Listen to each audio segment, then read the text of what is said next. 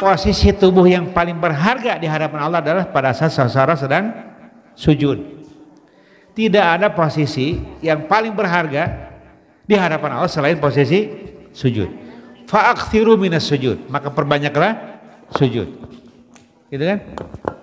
Maka perbanyaklah sujud.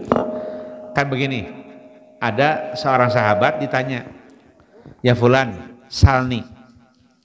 Wahai fulan, mintalah sesuatu kepadaku. Rasul menanyakan kepada seseorang supaya dia minta kepada Rasulullah minta sesuatu. Kira-kira kalau kita begitu minta apa ya? Kalau Rasulullah bilang kepada kita, wahai fulan, kalau ada namanya Dodi, Dod, cek Rasulullah, Dod, minta naon apa yang kau minta dari saya kata Rasulullah. Kira-kira minta apa kita? Ah, lumayan, surga ternyata. Jawabannya benar. Ketika ada seseorang ditanya, ya fulan salni, wahai fulan, silakan minta apa yang kamu mau daripada aku. Begitu kata Rasulullah. Kata si fulan tadi, uridu moro fakota kafil jannah. Ya Rasulullah sederhana permintaan saya. Saya ingin menemani kamu di surga. Saya ingin menemanimu di surga. Hebat kan jawabannya? Ditanya, ada yang lain? Enggak, cukup itu aja. Pinter banget ya. Luar biasa.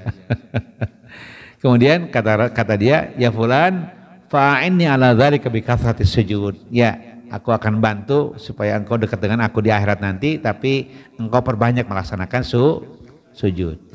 Sujud di mana adanya? Di sholat. Sholat yang paling banyak rakaatnya sholat apa? Sholat? Sholat sunnah. Sholat fardu mah nggak 17 rakaat kan? Jadi tidak ada kesempatan bagi kita memperbanyak rakaat kecuali rakaat salat salat sunnah. Ai fardu betul benar ditambah rakaatna.